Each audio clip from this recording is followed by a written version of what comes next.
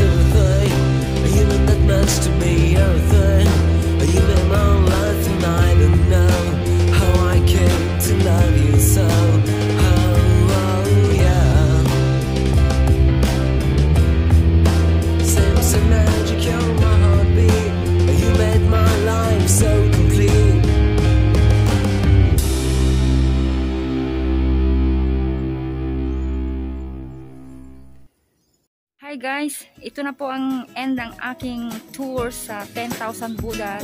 Sana po nagustuhan po ninyo. Um, at kung nagustuhan po